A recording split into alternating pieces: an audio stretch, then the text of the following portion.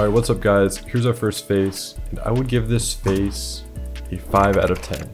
That's right, a 5 out of 10. I think this is a very average face. This is a perfect 5 out of 10 example, especially factoring in the side profile. So we'll look at his pros and cons. He has a hooked nose, as you can see from the side and the front. Doesn't have the best shape.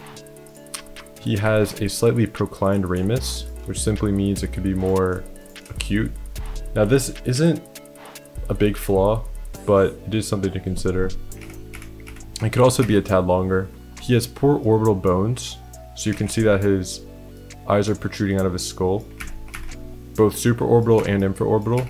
And we can see in the front profile that he has the weak under eye support, the excessive upper eyelid exposure. He has slightly flared ears, and you can also see, see from the front that his ramus could be down a little more. It gives this appearance when the widest part of the jaw is up here. It's not the best appearance. He has some good features too. He has a positive canthal tilt, decent eye shape, decent jaw inclination, I can see visually, good lip proportions. He has some decent features. It's it's generally just a very average face. Like his eye area is pretty average and his jaw is pretty average. Nose is a bit below average. So it's just a very average face. For looksmaxxing, I would say, personally I'd start out with a rhinoplasty. I know it's surgical advice, but that's kind of what's effective. So I would say I'd start out with a rhinoplasty. It's pretty simple and cheap to remove that. You can go for upper eyelid fat grafting if you want. Go for otoplasty to slightly pin back the ears. And an easy one that anyone can do is you can tint the brows to just be a little bit more full and consistent. Okay, here's our next face. So this face I put at a 6.75 in the top 2% of looks. So again, pe some people think I underrate faces, but it's important to remember this is a top 2% face. So like he'd be the best looking guy in classrooms, best looking guy. It's an estimation of like 50 people. So pretty good. I think he's a little bit better looking than like Timothée Chalamet on paper in that range. So there are some things worth noting. He has asymmetrical upper eyelids. So you can see this, he has upper eyelid exposure, and here he has hooding, and it's also a bit negative. So he, you can get blepharoplasty to correct this if you want. He has really good facial angularity, broad chin, full lips, pretty good nose shape, visually pretty good eye spacing, positive canthal tilt. His brows are his other flaw.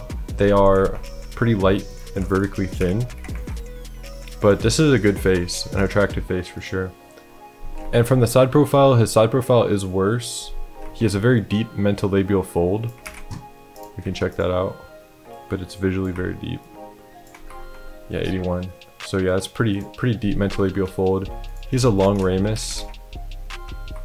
His chin is a little bit too projected, slightly, as you can see, which will distort the lip assessment slightly. It's very slight, but it could just be a little bit more.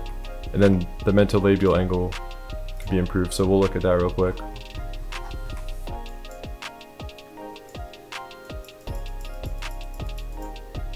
Actually, it's mostly the mentolabial angle that makes it look a little bit weird. But as you can see, it's just a bit deep beforehand. His nose is slightly hooked, very, very slightly, nothing to be concerned about. So yeah, as far as looksmaxxing advice for this guy, I'd say darken the brows with a eyebrow darkening and tinting kit.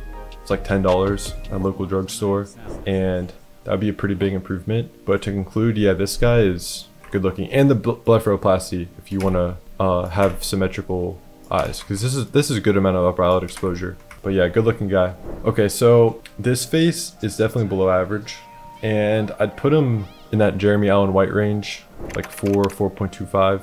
And the main issues are the near unibrow, so you can shave that in between. And the good marker or rule for where to trim your eyebrows are, these are the dorsal aesthetic lines right here. His aren't extremely defined, but these are the dorsal aesthetic lines. So you want to trim the eyebrows about on those lines. So all this stuff can tr be trimmed. And this can depend if you have wide or close set eyes. Sometimes you want your eyebrows to be further or closer, but in his case, I would shave them there.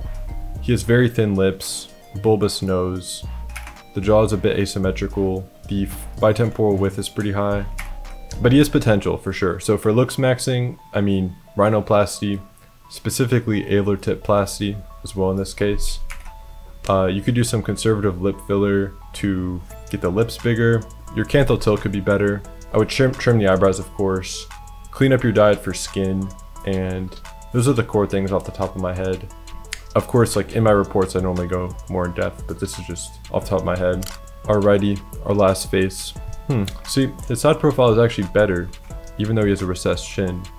He has good hair and good eye reaching from the side. Nose could be a bit better, but hmm, his front, his front is a little bit below average in this photo, I think. Basically a 5 though. Overall, I'd put this guy at like a 5, and I think he very easily can become above average, very easily. So I think with good skin and better grooming and losing a little bit of weight, this guy can be above average for sure. But we do have some issues like the recessed chin, the low jawline visibility.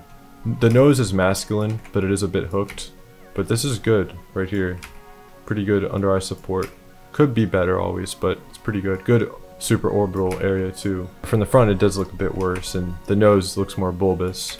The jaw is fairly average. So yeah, at the moment I would put this guy at like a 5, all things considered. But I think with clearing the skin, I'd shave the mustache, lose more weight. I would consider rhinoplasty in this case and probably a genioplasty as well. And but even without the surgery, this guy can I think reach above average. And also you could consider infraorbital rim implants. So yeah, that, I think that's all for that face. So yeah guys, that summarizes today's episode. I hope you guys enjoyed. And as always, if you want to help support the channel and get a face rating or looksmaxxing advice, you can check out the first link down below to my store. And it really does help support the channel. I think it's a great product. And yeah, I'll see you guys next time.